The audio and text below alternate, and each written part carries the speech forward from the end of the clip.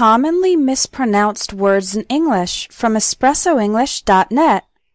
Words ending in OUS. The OUS at the end of these words sounds like is. It does not sound like house. Listen and repeat. Famous. Various. Serious. Nervous obvious, previous, religious, victorious. Words ending in T-I-O-N. The T-I-O-N sounds like shin. For example, association, definition, population, promotion section, solution, tradition. Words ending in ate. In some words ending in ate, usually verbs, it sounds like the number 8. And in other words ending in ate, usually nouns or adjectives, it sounds like et or it. Here are some examples. ATE that sounds like eight. Accelerate.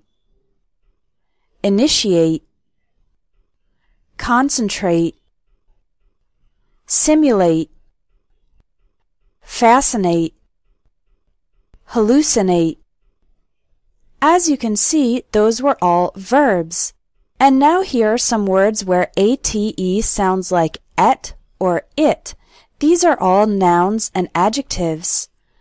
Private, adequate, candidate, delicate, desperate, certificate.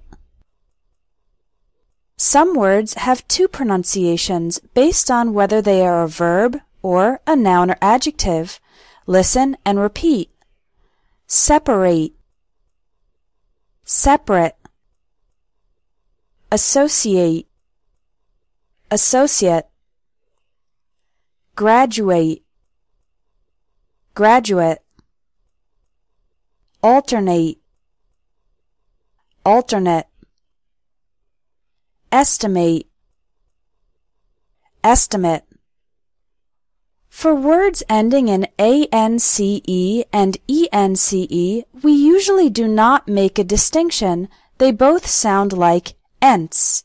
For example, absence, violence, experience, conference, evidence, influence, obedience, attendance, balance, distance, entrance, resistance, performance, importance.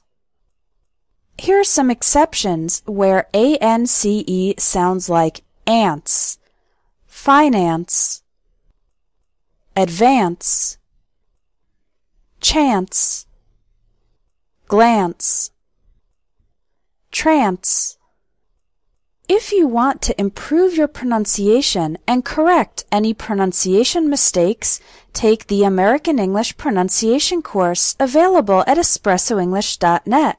It will help you speak English more clearly and confidently.